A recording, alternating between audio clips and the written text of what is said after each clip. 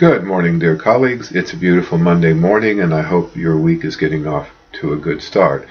This is the video I've been promising to talk a little more about the documentary hypothesis that we've been working with. Um, this hypothesis is somewhat complicated, and I appreciate the good faith with which many of you have tried to understand this stuff and work with it. We'll talk about that in a little bit. But it's the theory that there's more than one voice in this material. Um, and that we notice the voices, the different voices, by noticing the differences in the text, the difference in characterization or grammar or word flow or syntax or style or all of those things. Uh, and by, by noticing the differences, we can listen to the different voices and allow them to speak for themselves and speak to us. To ignore those differences is simply to smother those voices, and that does great violence to the people who wrote this stuff. It's really not fair. Um, so the documentary hypothesis, the JED and P stuff, that's really more advanced material for more advanced scholars than we need to be. Uh, it's just a kind of a shorthand uh, to say, yeah, I noticed there's a difference. There's a source here and there's a source here, and I notice that there's a difference between the two. Um, and so that probably means that two different people or two different sources produced that.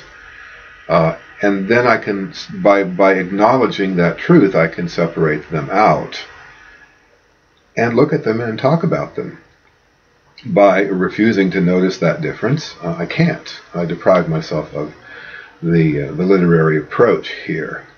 Um, the documentary hypothesis has its critics. It's a little bit complicated, I understand. And there are some serious scholars who strongly disagree with it. But as Gabel says, and I think he's right, uh, it is the theory that provides the largest number of answers and takes into account the largest amount of the evidence that we have in front of us.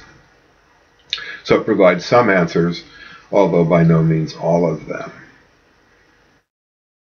So I've talked about Occam's razor before, uh, and that is the theory that one should not multiply instances. Here's my little graphic that I made. There it is.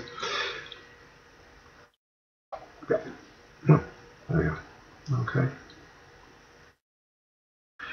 And how that simplifies our work is, you know, we don't have to identify J, E, D, or P. That's just a kind of a shorthand. It's one way of talking about it, but we don't really have to identify them. We just have to say there's a source over here that talks like this, writes like this, uses this particular grammar, sentence structure, vocabulary, so forth. And then there's this source over here that uses different vocabulary, different references, different syntax, different sentence structure, different forms, and so forth, and the two are different. Uh, and the first answer that come, that you come to that is logical and takes into account the evidence, uh, and this is a characteristic characteristic which this material shares with all other literature.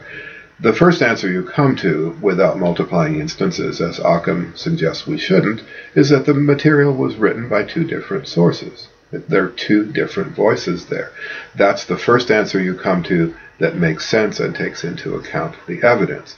So if you wish to uh, assert, and you're certainly welcome to do that, but if you wish to assert that, that one person wrote the whole thing, then you have to assert that in the face of the obvious differences, and you have to say, well, one person wrote this whole thing in spite of the fact that uh, there are these differences, and then you're skipping over the obvious answer and you're multiplying instances.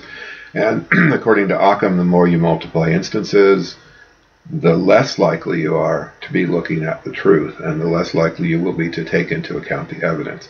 So, you know, the JED and P stuff, that's a shorthand to talk about. It's not necessary to identify any of those passages as such, but rather we use that as a format to notice the differences, and then talk about why they're there, uh, and make some uh, assumptions about the original sources of that material.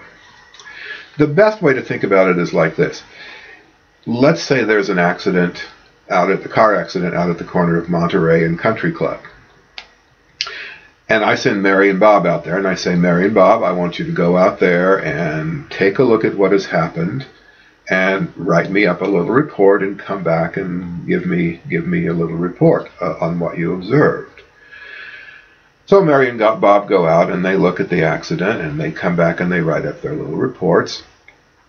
And Mary's report is, oh, it was a beautiful Dodge Charger, bright red, and it got all messed up along one side, and it's probably going to cost $5,000 to repair it. And Mary goes on about the car uh, and the damage to the car. Well, that's one voice. So we'll call that M for Mary.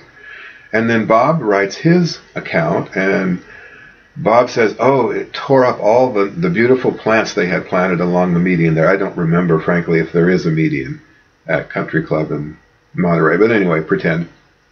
Bob says, Oh, it tore up all those beautiful plants there, and it's going to take you know, 10 years for them to grow back, and that intersection won't be as beautiful as it was. And Bob goes on about the plants in the median. So we're going to call that the B source for Bob. And then there's a third voice that's going to be there eventually, and the policeman who shows up to investigate the accident and write his official report, in which he's going to try to reconstruct the incident, most likely with the end in mind of determining who's at fault uh, for both legal and insurance purposes. So he's going to write up his report. We're going to call that the O source for officer. Okay? Now, there's no possibility whatsoever that those reports are going to be identical because those people notice different things.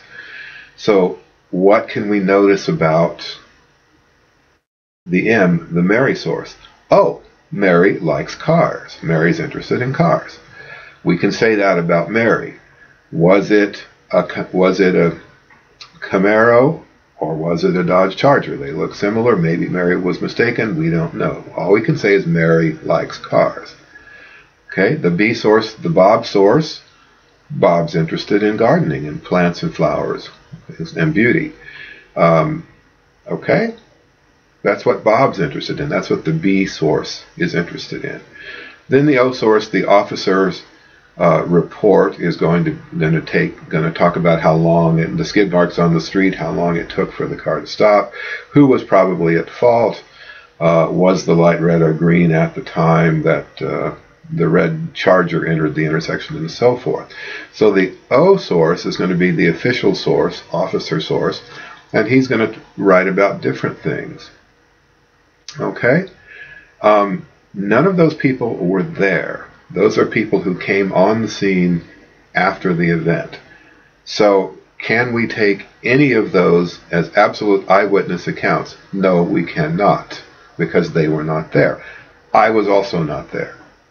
So, for me to take the M source, the B source, and the O source, Mary, Bob, and Officer, and say, yes, that's what actually happened, uh, is not possible because they were not there and I was not there.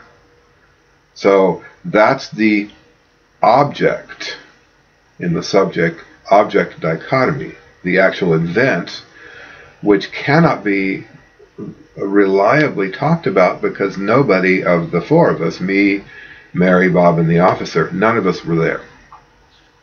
So there's not a subject in this part of these accounts.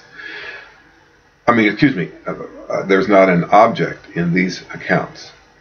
The subject, Mary, Bob, the officer, and me, I can talk about. Mary likes cars. Bob likes plants. The officer has a job to do to try to establish um, liability. And I'm coming along because I'm interested in reading these accounts and trying to reconstruct some of it. But I, I can only talk about the subjects. I can talk about what Mary noticed, I can talk about what Bob noticed. I can talk about what the officer noticed. And I can be aware of my own biases in what I happen to be noticing. All of those are the subjects. So it's the same thing, the subject object distinction is the same thing. When you're reading the biblical material, you are reading someone's subjective understanding of an event at which they probably were not present. So to take their account and say this is the way it absolutely was is just as difficult for a literary scholar as it is for me to take Mary's account and saying the only thing that was at that corner was that red Camaro. Uh, you know, so the subject-object thing is is it's something you do every day. You just don't think about it. But that's how it works. The all of the accounts are subjective, including the officers, because the subject, Bob, Mary, the officer, and me have chosen to look at certain things, chosen to report about certain things, and chosen to leave out other things. Those are choices that an author makes. And Occam's razor would lead us to the first logical assumption is that all writers make these kinds of choices, including the writers of this material. So I hope that clarifies it a little bit. I don't want you to get bogged down in this stuff. This is not that important to our purpose. Our purpose is to notice the subjective qualities of each account and then talk about and write about what those particular subjective uh, um, writers were interested in, what they were hoping to accomplish, and so forth and so on. Uh, that's as far as we need to go in this class. So I hope that helps a little bit. Uh, the last thing is uh, I've been noticing in some of our uh, forum posts that some of you folks are talking uh, a lot about your religious beliefs, your spiritual beliefs, your uh, uh, spiritual, religious, philosophical approaches to the material. and that's perfectly fine my classrooms have always been open forums, and I, I think as long as something is presented with respect and courtesy toward people who may have a differing opinion, I don't have any problem with that. I think, in fact, we should say that. So I'm not going to ever say, no, you can't talk about your religious beliefs or your spiritual beliefs or your philosophical beliefs. No, I'm not, not ever going to say that you can't talk about those. But there's a little handful of folks who are doing that to the exclusion of doing the work of the class. Okay? That's going to get you into trouble down the road. You're perfectly welcome to talk about your religious and spiritual beliefs and practices. I think it's interesting. Uh, and I may even chime in with some of mine. But that is not the work of this class. And so we need to be strict with each other, and I will possibly need to be strict with you and say, look, you need to do the work that the class is requiring you to do. And if you want to talk about your spiritual practices, that's perfectly fine. But if you're talking about your spiritual practices instead of talking about the literature, then you're not doing what the class is asking you to do. And when it comes time to write your paper, uh, you're going to have a lot of trouble. Okay.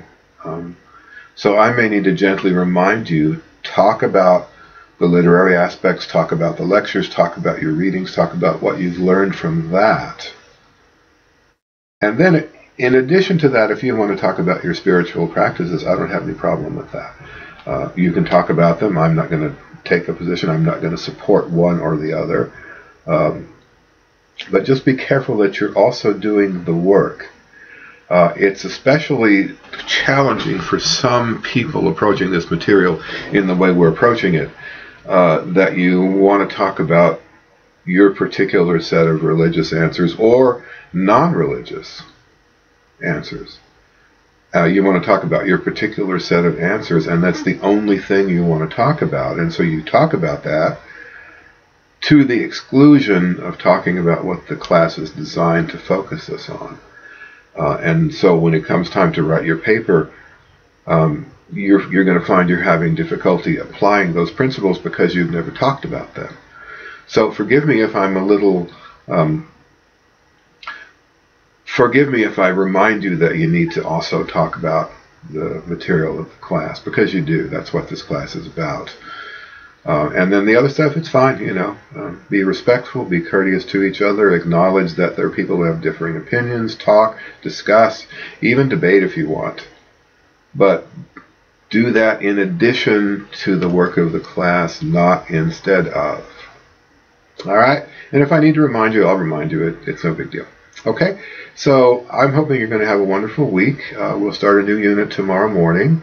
Um, and I'm going to get this video up now, so maybe it'll clarify some things for you. So the documentary stuff, the JED and P stuff, you don't need to worry about that except to just use it as a shorthand to talk about the differences in the texture and style of the material. The subject-object thing, um, maybe my uh, little shtick about the car accident helped you understand that difference. You're always reading a subjective account, always. Uh, for a literature, for a, liter- a, a scholar of literature's purpose, you're always reading a subjective account. Uh, and then, you know, talk about whatever you want to talk about. It's a free and open forum, but remember that you're talking about what you're supposed to talk about too, because you'll get into trouble with yourself if you don't. All right, have a great week. I'm going to get this video up for you, and uh, we'll talk soon. Bye bye.